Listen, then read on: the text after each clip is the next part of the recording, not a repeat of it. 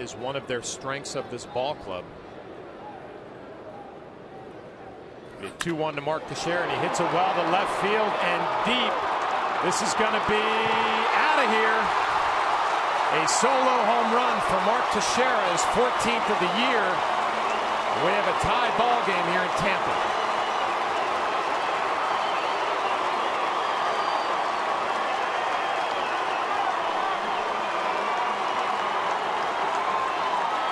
Well, the way he actually swung the bat there, it looked like it was another changeup to me. He got the head out. Target is away. Let's see where the pitch ends up. Towards the middle of the plate, and it wasn't a fastball. It was simply because he was out in front a bit, but he got good wood on it, and Teixeira is strong enough to get it into the front wall row in left center field. There it is. It had the sound, and with his strength, it had the distance that was not his best swing, but it was out of the ballpark anyway.